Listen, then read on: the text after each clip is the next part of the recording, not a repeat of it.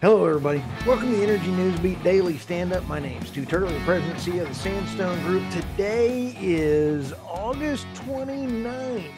We've got a crazy list of stories today. Michael is out running around in customer offices. Let's go to Ukraine strikes two more oil depots deep in Russian territory. Geez. What's good for Generac is bad for America. We bought one anyway. This is from Robert Bryce. I absolutely love Robert Bryce. You've got to follow him on his Substack. It'll be in the show notes, and he's got some stats and some figures. Love Robert Bryce, good friend of the show. How Trump can win on zero energy, zero energy poverty. What a great article this is followed up with another Trump story why Trump would be better for the climate than Kamala. Got an X Grok joke on this one waiting to happen. Prime Minister vows to fix energy crisis. Holy smokes, the UK is in trouble. Leave now. Libya, power struggle spikes oil prices. I'll tell you what, that whole thing is just really sad. But let's start off with Ukraine. Ukraine strikes two more oil depot depots deep into Russian territory. This whole war makes me airsick.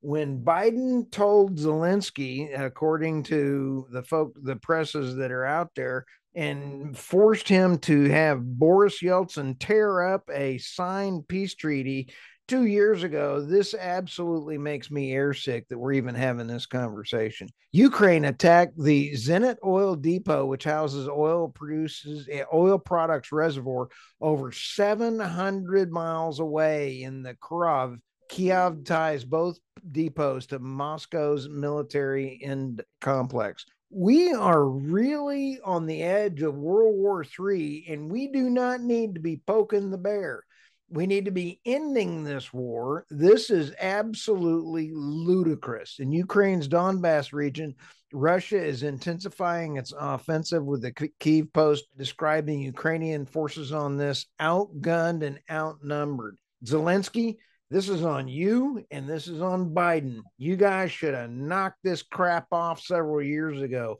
and saved a lot of Ukrainian lives. Hey, let's rumble on to the next story here. What's good for Generac is bad for America. We bought one anyway. Robert Stack is just a great energy expert and thought leader. Generac, if you're not aware, is a fantastic brand for natural gas generators to plug in for failover, either immediate failover or manual. And given that Generac is profiting from people like me, this is directly out of the, the article. Back in 2021, during Winter Storm Uri, we lost power for two days at that time. I thought, this is Robert speaking, Texas grid would recover and all would return to normal. That hasn't happened. Over the last 12 months, we've lost power at our house in central Austin three times. And in each instance, the outage lasted eight hours or more. Plus, ERCOT has repeatedly warned about looming power shortages. Here's why they're doing the best they can, but when you flood a grid, again, I say this all the time, the grid is non discriminatory when it comes to whether or not the rules that it applies. It applies by physics and fiscal responsibility in order to keep low energy prices there. He's installed a Generac whole house standby generator. It was about $15,000 for a 22 kilowatt gas fired air cool system that'll automatically turn on when the lights go out. Current Power Technologies is in San Antonio. Pretty cool. But here's what's really concerning is the number of grid outages that are coming across the US are significantly being more and more forecasted because of the balance of the grid we've been told that we need to double the grid in the next in Texas alone in the next 5 years. Took 100 years how to get here. This is just incredible. North American Electric Reliability Corporation has labeled significant portions of the United States and Canada as being a high risk resource for adequately shortfalls during a normal season peak condi- conditions in 2024 through 2028 period due to the supply demand dynamics. We believe utility supply shortfalls related warnings may continue in the future and we're I'm hearing that all across the United States. So when you take a look at this, be prepared because it doesn't matter if it's a man made disaster, if it's a natural disaster, we have to stand up and defend our families and our neighbors and our friends. And that's how we all survive together because do not plan on the government to be there for you. You shouldn't. You should be there for you and your neighbors. During the uh, debate, David Sibley, Senator David Sibley, a Republican from Waco, stood on the floor of the Texas Senate and declared that after deregulation, people will be able to shop for electricity. If they don't like the electric provider they got, they can switch if the price of can of beans goes up 10 cents, people can shop somewhere else. Shop till you drop, Senator, but electricity ain't beans. You can't, you do, I mean, yes, it's nice having an open market. And yes, I do. ERCOT is having some problems, but I tell you what, I would rather have an ERCOT type system than I would be part of the rest of the United States' grid. I'm not real sure whatever it is, my homes, I've got multiple power sources, and Generac is a good brand. So, but you got to be able to afford it, is the sad part. Anyway, shout out to Robert Bryce. It's Robert Bryce dot substack.com give him a follow and support him there as well too Let's go to the next story here. How Trump can win on energy, zero energy poverty. If that was Trump's tagline, I guarantee you it would resonate like just like we have RFK Jr. now in the Unity Party saying, hey, let's get rid of chemtrails. Let's get rid of the poisons in our food. Let's get healthy again. Let's get our grid healthy again and low cost energy. Kamala Harris and her new running mate Tim Walz will impoverish, America. I could not agree more with that statement. The best way to understand is most important that least known policy pipe dreams as Vice President Harris backed so called net zero, which means offsetting every iota in man made greenhouse gases. Walz, as governor, has pushed one of the most aggressive net zero policies in America, mandating that no carbon emissions in Minnesota by 2040. Do you know how costly that is and how expensive it is to the consumer, whether or not it's plant food or not? That is not the issue. We do do cut pollution. There is a difference between carbon, methane, and pollution, and we need to cut our footprint as low as we can. And you can do it if you're fiscally responsible. The the way the article writes this, the promise is mm. economic suicide. I have to admit, this is written by Chris Wright. He's the CEO over there at uh, Liberty Energy. He is a class act, and this was released out on Real Clear Politics. One of the best things Donald Trump can do is promise to replace the Harris Walz climate agenda with a real pathway to zero energy poverty.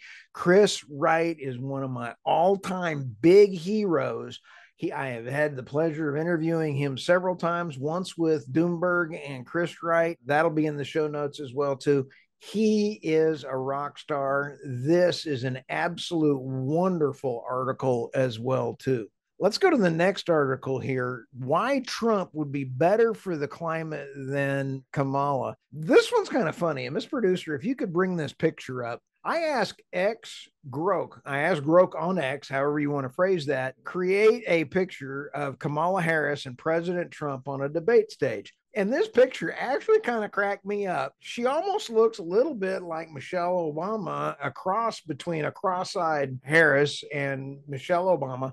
Not sure. I got tickled at it. That's that's just a straight picture. I thought it was kind of fun. But let's go through this article. The Democrat supports extreme climate policies. Climate change happens, folks. It it happens. And when geoengineering is involved, like chemtrails, just like RFK Jr. has asked and said he wants to stop, that's geoengineering. And so when you think, okay, climate change, it changes, but let's get rid of the pollution factor, and that will make all the difference in the world.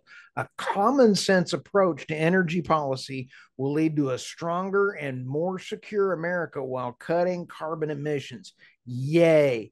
Vice President Kamala Harris, though, has endorsed the far less worst climate schemes. Uh, she was an early co sponsor of the 93 trillion Green New Deal, has called for banning of fracking. She has not come back out and said, oh, she for fracking. Uh, point blank said, I will allow for fracking.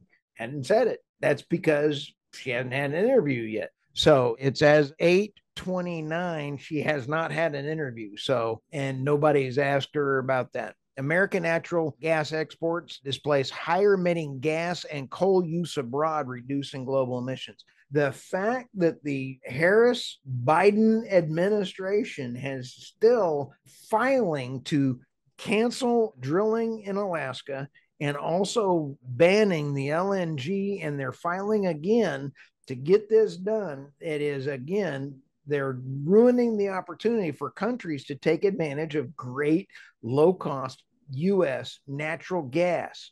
Natural gas is one of the biggest reasons the United States has lowered our CO2 output, and we need to allow other countries to have the same advantage in order to do that. Regulations, not Republicans, are the biggest barrier to deploying clean energy in this country and out competing China.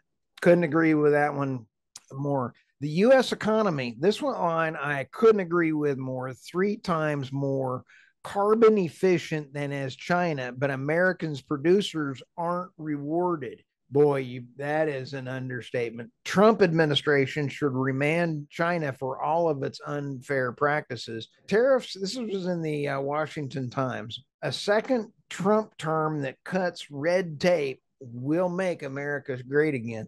And I do respect President Trump for his drill baby drill, but that's not the only thing that we've got to do. So let's go to the Prime Minister vows of the UK vows to fix the energy crisis. This is what you're going to get if you vote for Kamala and Walz. If you want this, vote because the Prime Minister of the UK is absolute a communist. Keir Starmer outlined several measures, including the establishment of the new energy company, Great British Energy, to help reduce bills and create jobs. Not going to happen. Their bills are through the roof.